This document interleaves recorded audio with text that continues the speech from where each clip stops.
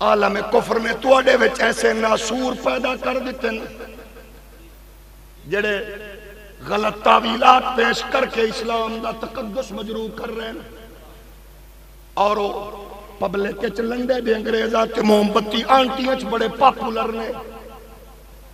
एक तेरा दुश्मन होवे जड़ा बराह रास्त कुरान नु हिट कर रहे है। ओदा पता दो बंदी नु, वहाबी नु, सुन्नी नु, शिया नु, ये दुश्मन है कुरान है। एक होवे जड़ा तेरिया मेरिया सफां दे बैठे। नई नस्ल ते मोमबत्ती आंटियाँ नु पसंद है। ते मीडिया ओनु रास्त पॉपुलर कर रहे है। मेरी मुराद, मोमबत्ती आंटियाँ ते अदाकारा ते फनकारा दे महबूब स्कॉलर जावेद गांधी ये ओ लोग ने जेड़े बराह रास्त इस्लाम नु लॉजिक के ज़रिए कुरान को पेश कर रहे हैं तो साढ़े गाँव मोमबत्ती आंटी माफिया दे मौलवी जागिल गए इलिटरेट को क्या पता? लॉजिक के बगैर बात करे। मैं कागजान लिए जमा। दौरा।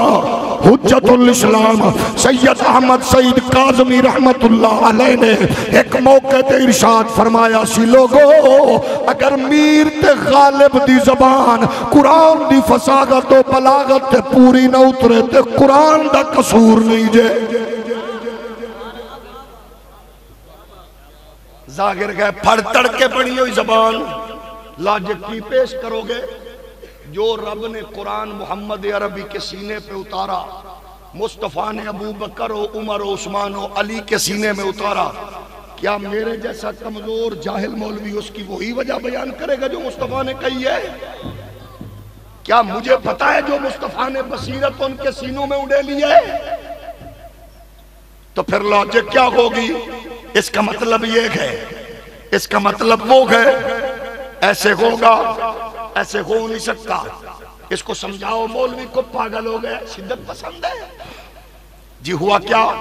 ये हमें कहते हैं, कुफर के सामने लड़ो। पागल को बताओ, हमारे पास कुछ नहीं है। इस जाहिल मौलवी को बताओ, ये बरेलवी सुन्नी देवबंदी को बताओ, ये पाहिल चाहिल मौलवी है। दो रकात के मौलवी। टके का मौलवी। ऐसा तो हम इससे भी कमज़ोर कमज़ोर है जनाब। आप टके का कह रहे हो? हम टके से भी कमज़ोर हैं, अगर हजूर के ना हो तो।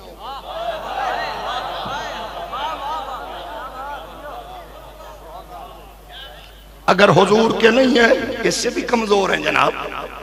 तो अगर हुजूर के हैं तो फिर साड़ी ताकत पूछनी तो अपने तू भी वड्या पूछ। है? अपने बड़ों से पूछ, हम कौन है? लॉजिक के ज़रिए। एक बंदे ने बर्रे सगीर में लॉजिक के ज़रिए दीन पेश किया। अंग्रेज़ी उनकी ठीक थी। वो मोहतरम double S double S A थे। उन्होंने लॉजिक के ज़रिए इस्लाम पेश किया, लेकिन जहाँ उनका इल्म खत्म हुआ, वो बेचारे खुद भी मुँह के बल गिरे, उनके फालवर भी मुँह के बल गिरे। ये फसीगो बलीग लोग हर दौर में आए हैं। कुरान वैसे ही खड़ा है, मिठू। अच्छा वो की आंदे ने मौलवी दसो ये आयत का शान नजूल जो बयान हो रगा गए इसको बताओ, ये आयत तो फला एरिया, कबीला, इलाका के लिए है। इसको सेंस नहीं है। असा का बिल्कुल ठीक भी आखना है। अगर इनू इंज मखसूस करांगे तो फिर साडे लिए कुरान दी केड़ी आयत बचेगी। मैं क्या लामा मुफ्ती नसीरुद्दीन दी गल रिजेक्ट कर दे। खादिम खुर्शीद परे धक्का दे दे। हज़रत पीर अब्दुल खालिक की गल छोड़ दे। लेकिन मैं क्या इकबाल पूछ ले? इकबाल की आंदा है आ किताबे, ज़िंदा कुरान ने हकीम, हिकमत ऊ ला यजालस्तो कदीम। अर्फ